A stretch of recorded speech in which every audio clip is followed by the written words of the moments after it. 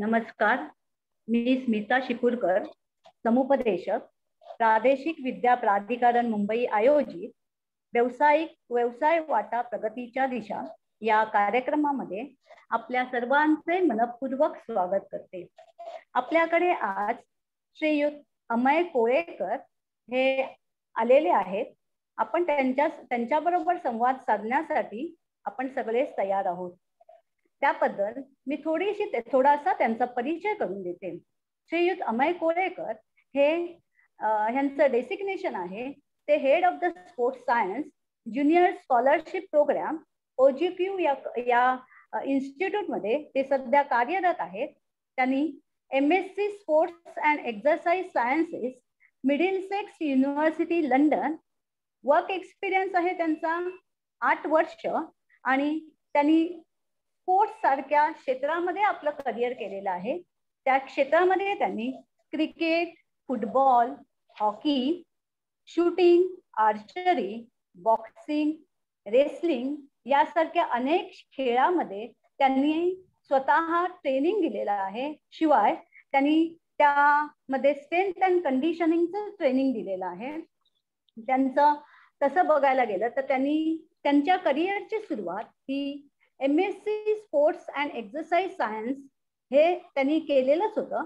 पण त्यांचं बेसिक शिक्षण जे आहे ते त्यांचं बारावी पर्यंत होतं आणि त्यानंतर त्यांनी बॅचलर डिग्री ही मुंबई युनिव्हर्सिटीतून घेतलेली आहे. आणि त्यानंतर त्यांना स्पोर्ट्समध्ये आवड निर्माण झाली आणि त्यानंतर ते या पदावर पोहोचलेले आहेत. नमस्कार सर. मी तुम आमच्या सर्वांच्या वतीने आपले स्वागत करते. नमस्कार मॅम. नमस्कार. सर मला असं तुम्हाला विचारावंसं वाटतं की तुम्हाला या क्षेत्रात करिअर करण्यासाठी कोणाचं हेल्प झाली किंवा कोणाची मदत झाली? आणि तुम्हाला का वाटलं की ह्या क्षेत्रात मला करिअर करायचं आहे? ऍक्च्युली या क्षेत्रामध्ये येणं हे खूप मी माझं भाग्यच समजतो.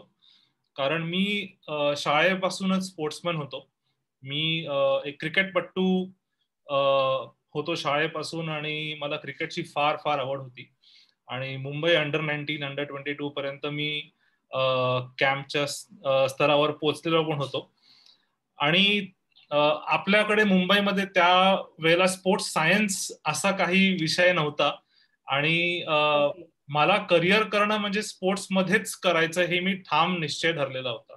म्हणजे आपलं नॉर्मल सायन्स बॅकग्राऊंड जरी असलं तरी फार मुलं इन्क्लाइन होतात बायोलॉजी केमिस्ट्री फिजिक्स हे सगळं तर होतच पण माझं असं इन्क्लिनेशन ह्या सब्जेक्टमध्ये असून सुद्धा मला स्पोर्ट्समध्ये एवढं इन्क्लिनेशन होतं की मला स्पोर्ट्सच्या शिवाय दुसरं काही दिसायचं नाही. आणि ह्या कारणा पोटी मी जेवढं काही वाचू शकलो रिसर्च करू शकलो मला मार्गदर्शन करणारे जे माझे कोचेस होते त्यांनी पण मला खूप मार्गदर्शन केलं. घरातून मला फार सपोर्ट मिळाला. तर असे भरपूर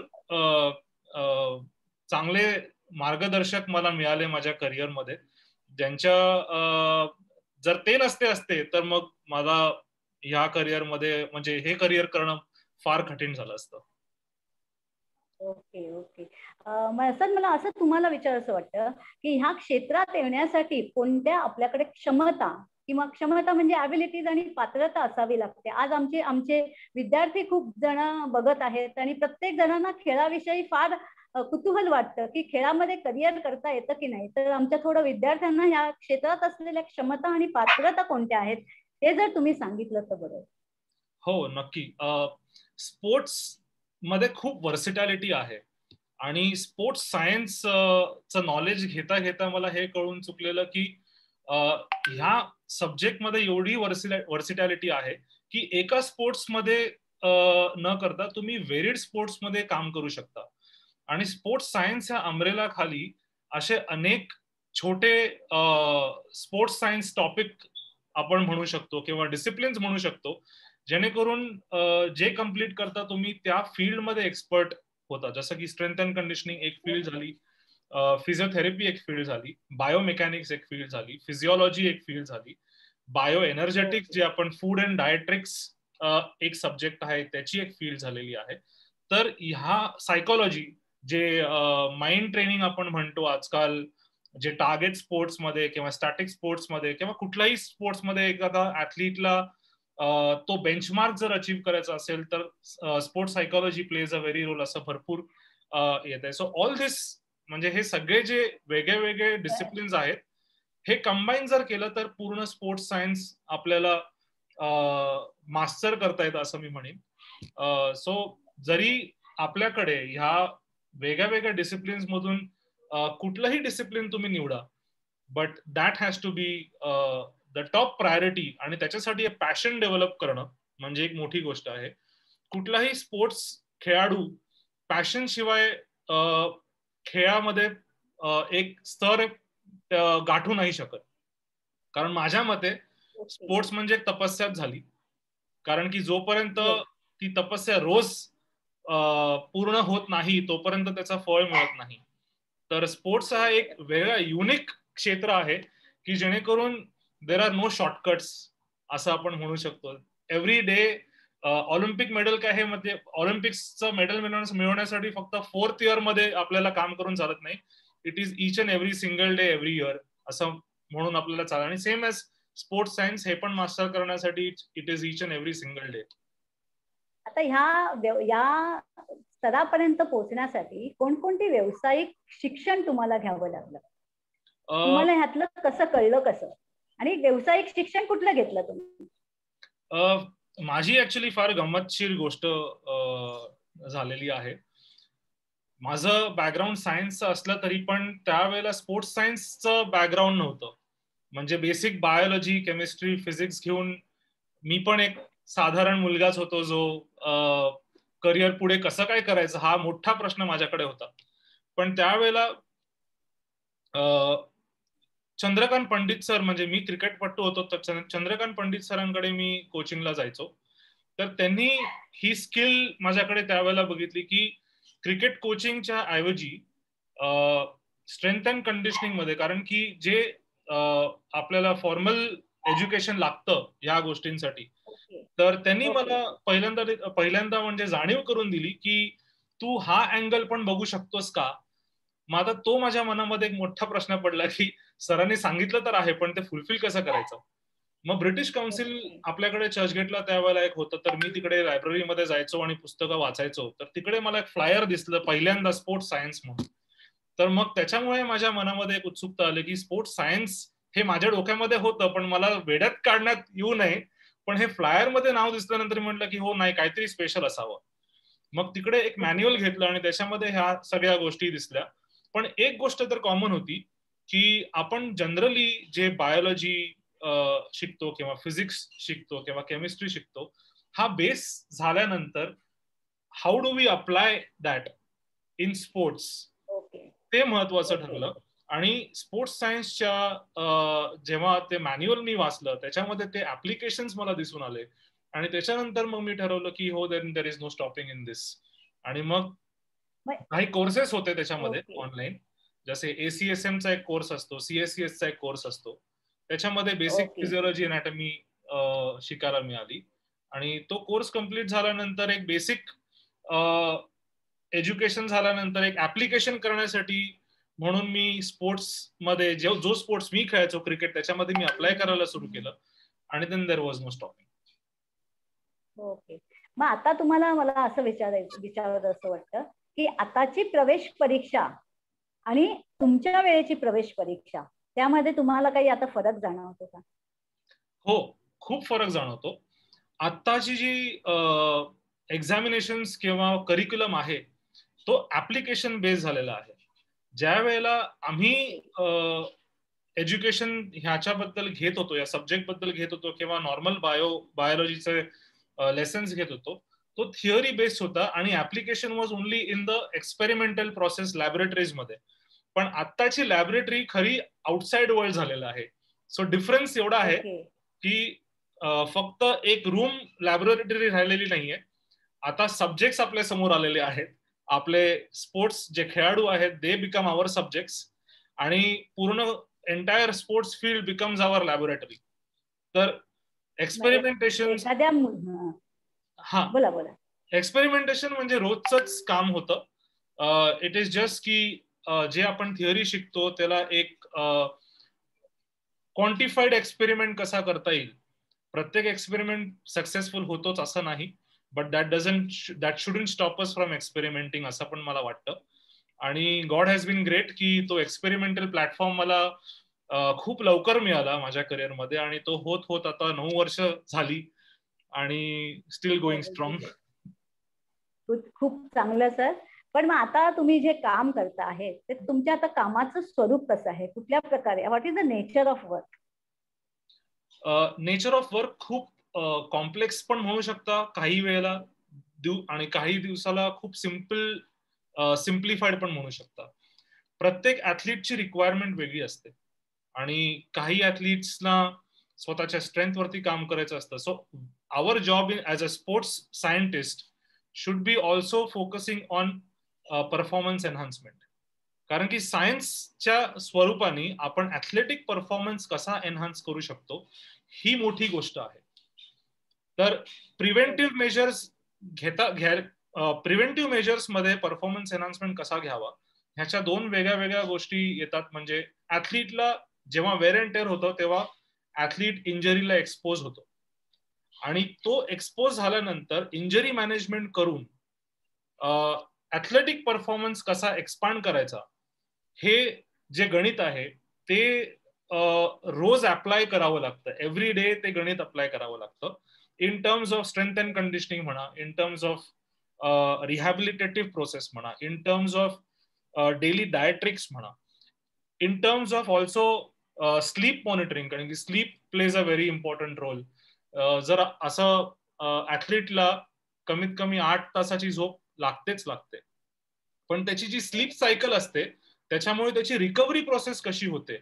एव्हरी डे रिकव्हरी केल्यामुळे त्याची जी तालीम असते रोजची ती आपल्याला हंड्रेड पर्सेंट ठेवावी लागते. कारण तालमेमध्ये जर हंड्रेड पर्सेंट दिला नाही कारण आणि मॅच मध्ये हंड्रेड पर्सेंट आपल्याला द्यावं लागतं तो जो डेफिसिट जर राहिला देन ऍथलीटचा परफॉर्मन्स येत नाही. तर आपल्याला ऍथलीटला तेवढंच पुश करावं लागतं तालमेमध्ये की जेवढं तो मॅच मध्ये पुश करणार आहे. आणि त्याच्यासाठी डेली वेलनेस त्याची झोप त्याचं खाणं त्याचं डेली कंडिशनिंग तेवढंच आपल्याला रोजचं एका काय म्हणतो आपण एका क्वांटिफाईड रीते आपल्याला घ्यावं लागतं. आणि that is that is how the daily process is in sports science okay. Sir मला असं विचारायचं वाटतं की आता हा तुमचा व्यावसायिक विकास होत गेलेला आहे. तर व्यावसायिक विकासासाठी कोणकोणती व्यक्तिमत्वाची गरज असते? म्हणजे कुठल्या कुठल्या पर्सनॅलिटी एखाद्या विद्यार्थ्याला जर आम्हाला स्पोर्ट्स त्याला त्याची जर स्पोर्ट्समध्ये आवड असेल आणि त्याला ह्या क्षेत्रात जायचं असेल तर त्यासाठी कोणकोणत्या व्यक्तिमत्वाचे गुण आवश्यक आहे हे फील्ड करण्यासाठी? व्यक्तिमत्व म्हणजे सेल्फ कॅरेक्टरिस्टिक्स जर आपण ओळखले तर सगळ्यात पहिले he should not be shy आणि आणि स्पोर्ट्स एक कॉन्फिडन्स आपल्याला देतात जेव्हा आपण स्पोर्ट्स खेळतो तेव्हा आपल्याला आपले कुठल्याही स्पोर्ट्स मधून जे काय ऑपॉर्च्युनिटीज मिळतात. फॉर एक्झाम्पल आता आपण एखाद आपण आपण आपल्या टीम माघाडीवरती आहे आणि आपल्याला एका ऑपोनंटची आघाडीवरती घ्यायची असेल ऑपोनंटला बीट करायचं असेल. So from an underdog how you become a successful person हे स्पोर्ट्स आपल्याला शिकवतो आणि तो जो कॉन्फिडन्स मिळतो दॅट इज नंबर वन कारण की without confidence you cannot treat your patient तर पेशंटला ट्रीट करताना किंवा एका ऍथलीटला ट्रीट करताना तो आपला जो सेल्फ कॉन्फिडन्स असतो तो एक महत्त्वाचा आहे. त्याच्यामुळे पर्सनॅलिटी डेव्हलपमेंट आपल्याला खूप गरजेचं आहे. एक बेसिक नॉलेज आपल्याला ह्युमन अनॅटमी बायोलॉजी फिजिओलॉजीचं खूप गरजेचं आहे. कारण की तुम्ही एक ह्युमन बॉडीवरती एक्सपेरिमेंट करत असता आणि कुठली एनर्जी सिस्टीम्स कधी काम करते ह्याचं बेसिक नॉलेज असणं फार गरजेचं आहे. कारण की कुठलाही कुठलीही प्रक्रिया करणं there is a equal and opposite reaction जे फिजिक्समध्ये आहे तर हे फिजिक्सचं ऍप्लिकेशन ह्युमन बॉडीवरती येतं. सो फार आपण जे थिअरीमध्ये शिकतो it's sports is a complete application of theory आणि फ्रीडम ऑफ एक्सप्रेशन पण तेवढंच असतं स्पोर्ट्समध्ये कारण की स्पोर्ट्स खूप डायनामिक क्षेत्र आहे. आणि जोपर्यंत आपण एक्सप्रेस करत नाही तोपर्यंत ते डायनामिक्स आपल्याला एक्सप्रेस करता जर नाही आले तर ऑपरंट आपल्यावरती हवी कसा होतो त्याच्यावरनं पण आपल्याला खूप शिकायला मिळतं. सो यू म्हणजे पहिली म्हणजे मेहनत घेण्याची क्षमता विद्यार्थ्यांमध्ये पाहिजे स्वतःमध्ये कॉन्फिडन्स पाहिजे. लाजणं हा प्रकार इथे नको आहे. बरोबर आहे की नाही? आणि त्यामुळे त्या आणि तासन तास म्हणजे सर मी तुम्हाला तुम्हाला विचारायचं वाटतं तुम्ही साधारणतः किती तास वर्क करता? हा प्रश्न खूप विचारला जातो. स्पोर्ट्समध्ये तासांवरती काम करणं म्हणजे फार फार मुश्किल आहे सांगणं. कारण की मॅचेस सॅटर्डे संडेला असतात पण तालीम मंडे टू फ्रायडे असते. तर we are working seven days आणि असं काही स्पोर्ट्सच्या मॅचेसना टायमिंग नसतं. फुटबॉलच्या मॅचेस संध्याकाळी खेळल्या जातात. क्रिकेट तर पाच पाच दिवस खेळलं जातं. तेच तुम्ही जर स्टॅटिक स्पोर्ट्स घेतले तर असं इनडोअर पण असतं आणि आउटडोअर पण असतं. सो टाइम डिफरन्स आपल्याला एक टाइम घेऊन चालता येत नाही. Whenever and whenever the services are required आपल्याला तिकडे उपस्थित राहावं लागतं. पण that is also the beauty of the game की असं कुठलंही क्षेत्र नाही आहे की जेणेकरून तुम्हाला एवढं डायनॅमिसिटी एक्सप्रेस करण्याची एक ऑपॉर्च्युनिटी मिळते. आणि एवढी वर्सिटॅलिटी जी आहे ती मला तरी वाटत नाही कुठल्या दुसऱ्या क्षेत्रामध्ये असेल. आम्हाला सर तुमचा अभिमान आहे पण हे करता करता या क्षेत्रामध्ये तुम्ही कोणती आव्हाने पेलवली आहेत आजपर्यंत? आणि त्या आव्हानावर तुम्ही कसं त्याला डिफेक्ट केलेलं आहे त्याच्यावर कशी मात केलेली आहे? मला मला नेहमी एकच कोट आठवतो जेव्हा मी एव्हरी डे रोज जेव्हा मी उठतो की life is not all about rainbows and sunshine आणि life can be very difficult आपल्याला एकदम अशा खालत्या खालच्या पातळीवरती लिहून पण लाईफ ठेवू शकते. But it's not about complaining it's out it's all about taking the punches and moving forward हे हा माझा फेवरेट कोट आहे. मी रॉकी बल्बोचा खूप फॅन आहे तर ते मी खूप मोटिवेशनल फॅक्टर्स घेत असतो. स्पोर्टिंग मुव्हीज बघत असतो. पण स्पोर्ट्स वेगळ्या दिवशी वेगळे चॅलेंजेस देतात. बट चॅलेंजेस असून सुद्धा स्पोर्ट्स एखादा मुलगा खेळला तर डेली चॅलेंजेस फेस करण्याची त्याची जी एक पर्सनॅलिटी डेव्हलप होत असते. कारण की रोज एक वेगळा टार्गेट असतो आणि तो टार्गेट अचीव करणं वेगवेगळ्या चॅलेंजेस फेस करणं. जसं फॉर एक्झाम्पल सगळेच सायन्स बॅकग्राऊंड मधले नसतात. काही लोक कारण की कॉमर्स मधले असतील ज्यांना स्पोर्ट्समध्ये आवड असेल.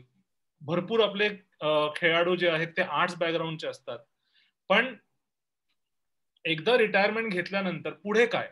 तर स्पोर्ट्स सायन्समध्ये जर आपल्याला करिअर करायचं असेल तर त्यांना बॅक टू स्क्वेअर वन यावं लागतं कधी कधी सो आपल्या एज्युकेशन सिस्टीममध्ये जर तो एक एक चॅनल मिळाला तर तो चॅलेंज एक राहणार नाही.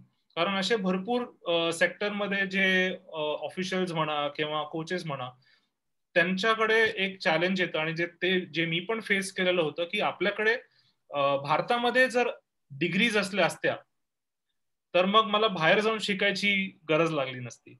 बिकॉज माझा पुढचा प्रश्न तोच होता की तुम्ही आंतरराष्ट्रीय लेवलवर जे ज्या तुम्ही डिग्र्याज घेतलेल्या आहेत तर आम्हाला असा प्रश्न पडतो की मग भारतामध्ये आपल्या हे स्पोर्ट्स सायन्सची डिग्री वगैरे नाही आहे का? का कुठे कुठल्या तरी स्टेटमध्ये असेल पण मग इथे नाही आहे महाराष्ट्रामध्ये असं काय आहे का?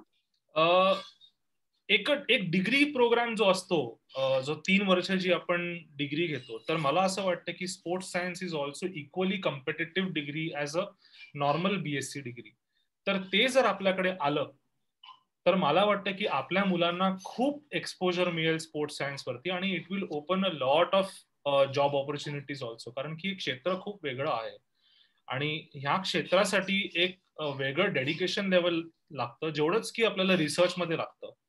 आणि बाहेर जाण्याचं एक मला आय ओपनर होता की बाहेरच्या देशांमध्ये रिसर्च वरती खूप जोर दिला जातो. तर आपल्या देशामध्ये जर स्पोर्ट्सच्या रिसर्च वरती जोर दिला गेला तर मला वाटतं खूप आपल्या यंगस्टर्स वरती बेनिफिशियल राहील. आणि एक डायव्हर्सिटी मिळेल की बायोलॉजी केल्यानंतर ते बायोलॉजीचं ऍप्लिकेशन आपल्या ह्युमन बॉडीच्या परफॉर्मन्स एनहान्समेंट वरती कसं वापरता येईल त्याचा रिसर्च काय आहे? आणि त्याच्यावरती जर मुलांना पीएचडी करता आली देन नथिंग लाईक इट तर मला वाटतं माझ्या काळामध्ये मी एक चॅलेंज फेस केलेला जातो की आय एम मला अजूनही पीएचडी मी पीएचडी नाही आहे मी फक्त मास्टर्स केलेले आहेत पण मला पीएचडी करण्याची अजूनही इच्छा आहे. तर आपल्याकडे जर तशी एक ऑपॉर्च्युनिटी मिळाली तर आम्हाला आमच्या कोचेस नेहमी सांगायचे की always be the student of the game तर मी स्पोर्ट्स सायन्सचा अजूनही स्टुडंट ऑफ द गेमच आहे आणि मला अजूनही पुढे शिक्षण करणं त्याच्यामध्ये फार अभिमान वाटो वाटतो आणि वाटत पण राहील की जर मला पीएचडी करायला मिळाली तर आणखीन एक आपल्या देशासाठी पण मला काहीतरी करता येईल बेनिफिशियल ठरेल. So that is my goal आणि ते जर आपल्याकडे तो जर लूपहोल आपण फिल केला तर मला वाटतं की आणखीन आपल्यासारखे काही यंग जनरेशन जे आहे त्यांना आणखीन काहीतरी पुढे प्रोत्साहन मिळेल आणि स्पोर्ट्सचा बूम आणखीन होईल. Okay okay. आता तुम्ही जिथे ओजीक्यू मध्ये आहेत तर त्याच्याविषयी म्हणजे ते काय आहे आणि कुठली इन्स्टिट्यूट आहे ती? आणि सायबद्दल काही माहिती सांगाल का आमच्या मुलांना? ऑलिम्पिक गोल्ड क्वेस्ट एक नॉन प्रॉफिट ऑर्गनायझेशन आहे आमचा एकच एम आहे की जे ऍथलीट्स आहेत आपल्या इंडियामध्ये त्यांना ऑलिम्पिकमध्ये गोल्ड मेडल मिळवण्याची ही एक क्वेस्ट आहे बेसिकली आणि आम्ही आमचा एवढाच एक एम आहे की जेवढे ऍथलीट्स आहेत त्यांना एका टॉप लेवल आणि एलिट प्लॅटफॉर्म मिळवणं आणि मिळाल्यानंतर त्यांची तालीम घेणं आणि त्यांच्यावरती परफॉर्मन्स त्यांचा एनहान्समेंट कसा करायचा हे जे ही जी प्रक्रिया आहे ती प्रक्रिया आम्ही त्या ऍथलीट्स वरती देतो. आणि त्याचा बेनिफिट असा राहतो की ऍथलीटना एक एक्सपोजर मिळतं की जेणेकरून ऍथलीटला एक सायंटिफिक प्रोसेस करते त्यांची बॉडी कन्झर्व कशी करायची? त्यांचं करिअर थोडस एक्सपांड कसं करायचं? त्यांना इंजुरी फ्री कसं ठेवायचं? आणि हे ह्या ह्या ऍक्च्युली प्रक्रियेमुळे त्यांचा जो एक एफिकसी येते गेममध्ये ती एफिकसी जी असते ती ग्लोबल स्टँडर्ड करून देणं हा आमचा एम आहे. ओके नक्कीच सर स्पोर्ट्स सायंटिस्ट म्हटल्यानंतर हे वेगळंच करिअर आहे. पण आता शेवटी जाता जाता या करिअर क्षेत्रामध्ये आमच्या आमच्या विद्यार्थ्यांना ज्या विद्यार्थ्यांना या या क्षेत्रामध्ये करिअर करू इच्छिणारे आहेत त्यांना तुम्ही जाता जाता काय संदेश द्याल? संदेश एकच आहे की तुमचं तुमची जी पॅशन आहे ती ओळखा. स्वतःची जी पॅशन असेल त्याला बॅक करा. आणि मला तर माझा दुसरा मोटिव्ह असा आहे की मला नेस फार आवडतात.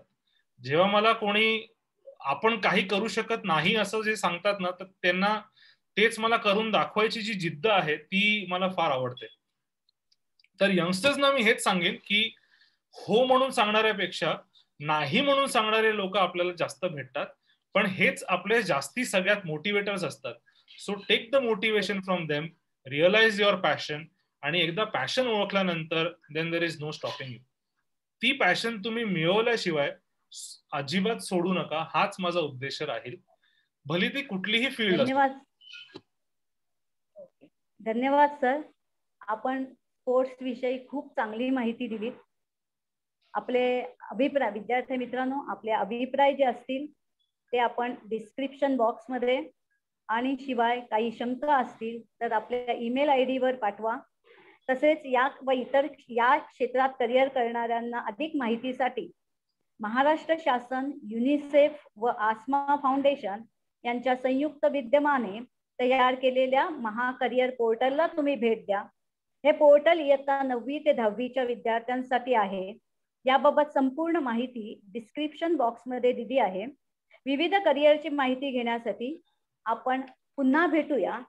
तोपर्यंत आपण प्रादेशिक विद्या प्राधिकरण मुंबई या यूट्यूब चॅनलला लाईक व सबस्क्राईब करा. धन्यवाद सर घरी राहा सुरक्षित राहा. आपण